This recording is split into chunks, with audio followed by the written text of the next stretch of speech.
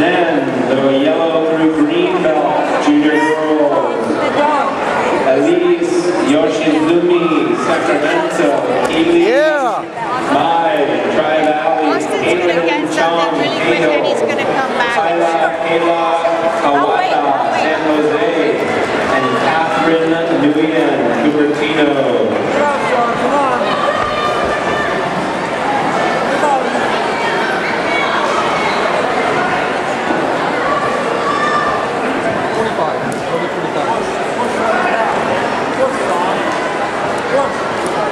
All